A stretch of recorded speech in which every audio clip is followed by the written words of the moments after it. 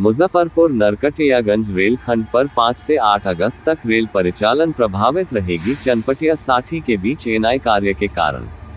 मोतिहारी मोतिहारी प्रतिनिधि रेलखंड के चनपटिया व साठी स्टेशन के बीच एनआई कार्य को लेकर मुजफ्फरपुर नरकटियागंज रेलखंड पर 5 से 8 अगस्त तक रेल परिचालन प्रभावित रहेगी। इस दौरान परिचालन विभाग ने एक जोड़ी पैसेंजर ट्रेनों को रद्द कर दिया गया है। जबकि दर्जन भर से अधिक ट्रेनें परिवर्तित मार्ग से चलाई जाएगी। चनपटिया साठी खंड पर रविवार और सोमवार को भी एनआई वक्त किया गया, जबकि मंगलवार 6 अगस्त से गुरुवार 8 अगस्त तक एनआई वक्त किया जाएगा।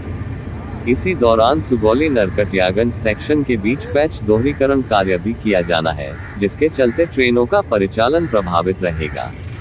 रद्द की गई ट्रेनें। गाड़ी संख्या शून्य पाँच दो पाँच आठ नरकटियागंज मुजफ्फरपुर पैसेंजर तथा गाड़ी संख्या शून्य पाँच दो पाँच नौ मुजफ्फरपुर नरकटियागंज पैसेंजर को 5 अगस्त से 8 अगस्त तक रद्द कर दिया गया है। जबकि कुछ ट्रेनें इस कार्य अवधि के दौरान नियंत्रित कर चलाई जाएगी, जबकि कुछ ट्रेनों का शर्त टर्मिनेशन किया गया है।